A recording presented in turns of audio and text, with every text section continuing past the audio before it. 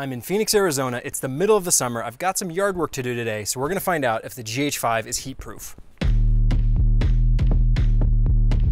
Given that there's been a lot of talk about cameras overheating and I have a lot of yard work to do today, I have to clean up some stuff, make it look a little bit nicer back here. My garden is overgrown and my kids' toys are everywhere. It's Phoenix, Arizona. It's over 100 degrees. I thought this would be a good time to put the GH5 on the line and see how it can hold up in these pretty drastic circumstances. I don't want to be out here for more than an hour, but I'll probably try and stay out here for a full two hours if the camera can take it. If it can't, then I'll wrap it up and, and we'll know.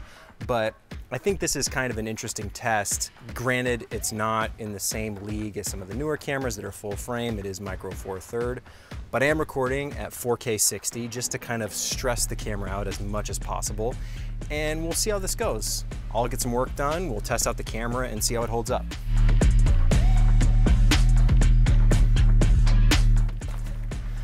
I should also say I have another GH5 doing a time lapse over here just to see kind of what happens if anything interesting happens, if they both overheat at the same time, if they're different because this one's doing video and that one's doing photo.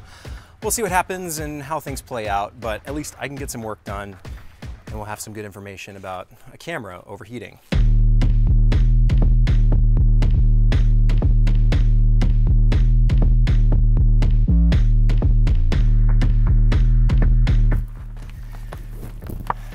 Been gone for a couple weeks, so my garden was completely overgrown.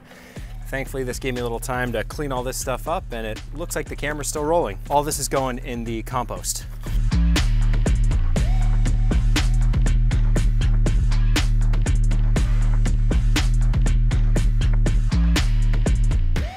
All right, I've been recording for about 25 minutes now and it does seem like a good time to put on some sunscreen. Might have been a smart idea to put this on first, but at least I'm not forgetting.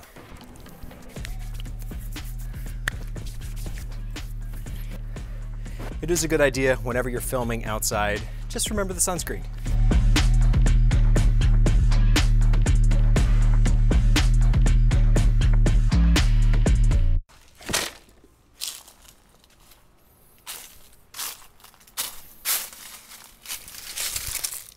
All right, so the camera did die. I switched it from 60 frames a second to 24. Hopefully that'll help a little bit. And then my time-lapse camera is still going and that one's slightly in the shade. So I'm gonna put this camera in the shade as well to see if that kind of would be like an easy onset solution for if your camera were overheating. Okay, put it in some shade, maybe switch the frame rate if you have to, and we'll see how it holds up. One other thing I want to do is take some temperature readings out here to see how hot things are actually getting. Right now, if I take a reading off of this camera that's recording right here, it's been in the shade here for about 20 minutes. It's at 117 degrees, 118 degrees, right on the camera body. The tripod itself is a little cooler at 108.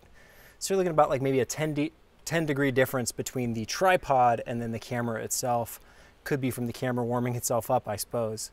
The time-lapse camera that's been doing better over in the corner is at a similar 115. So 115, 118 in the shade out here, this brick wall that's right next to everything, 108 degrees. So I would say probably about 108, 110, just shade temperature outside, while if you have an electronic device that's running, in this case the GH5s that are going, they're about 10 degrees hotter in the shade. I'm gonna go take some readings out here in full sun to see what we have. Full sun, we've got uh, 124 degrees. This black plastic that's been sitting here, 148 degrees Fahrenheit, 145, 146. This black plastic is getting really hot, and that's a thing to remember is that in full sun, the black camera is gonna absorb a lot more heat. Just putting in the shade can help substantially reduce that temperature. If this GH5 were out here, I imagine it'd be almost 150 degrees Fahrenheit, which makes sense that if it's at 120, let's say right now, that 30 extra degrees is gonna be significant in terms of keeping the camera cool or getting too hot and it just needed to maintain everything. So definitely avoid direct sun, especially if you're in Phoenix. Yeah, 149 degrees Fahrenheit. It's at 22-ish minutes of record time It's not giving me any warnings. It's not saying it's overheating. So all things look good. And I think that's really just the difference is from full sun into the shade. I'm hoping that lets us keep rolling because you could easily do that on set. Pop up a little uh, shade diffusion, a little black flag just to give the camera some shade so it doesn't get so scorching hot. Camera's still rolling. I just have a few things left to do, but I'm gonna plan on staying out here until this thing either overheats or just fills up. I put two cards in there, so I have two 64 gigabyte cards. I've still got 13 minutes left on this one and then a whole extra hour and 25 minutes to record on the other card. It's gonna roll right over it. On the GH5, there's the dual card slots, so I can just record continuously for almost three hours. In the case that it can last three hours, I'm gonna let it out here in the, uh, in the shaded sun right now. Um, it's 110 today, so hopefully that gives you an idea of where we're at, both environmentally, the surfaces we have around. It's between 105 to 110, depending where, where you are in the valley right now. So I'm gonna let this stuff keep recording as long as it can. I'm gonna finish up my work and I'm curious to see if it, if it can just survive continuous now that it's in the shade.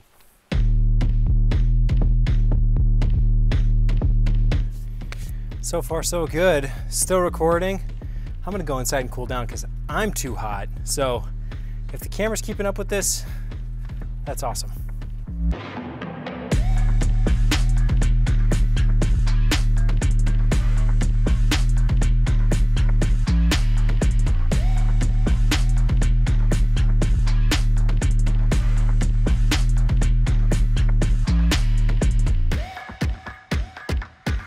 And of course, the battery died. So had to swap that. Didn't overheat yet, but it happens.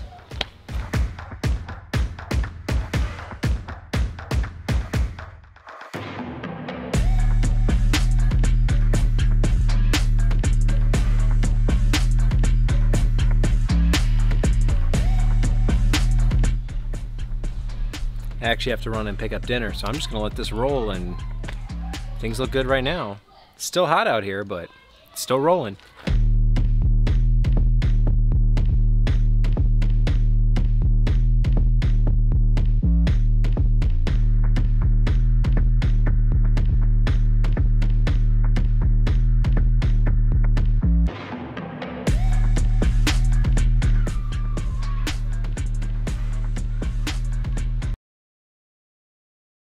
The sun is finally starting to set and the card is full. No overheating issues. Went all the way to the end.